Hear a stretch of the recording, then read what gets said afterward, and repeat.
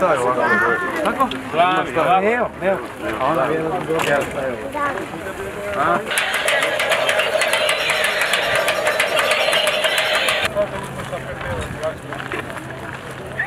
To je jedna plaća mjesto.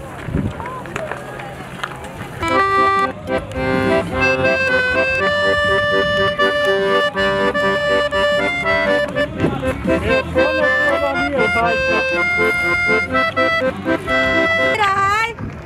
Jedan euro, jedan komad.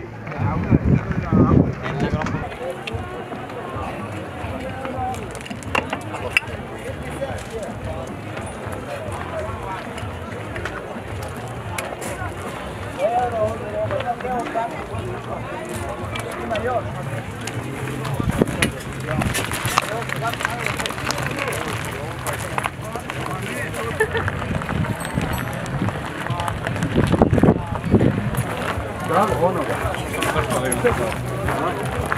Aj,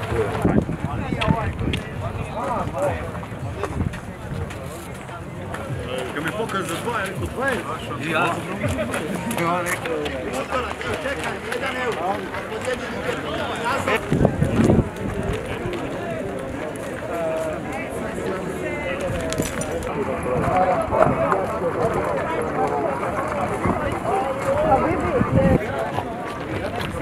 na TikTok.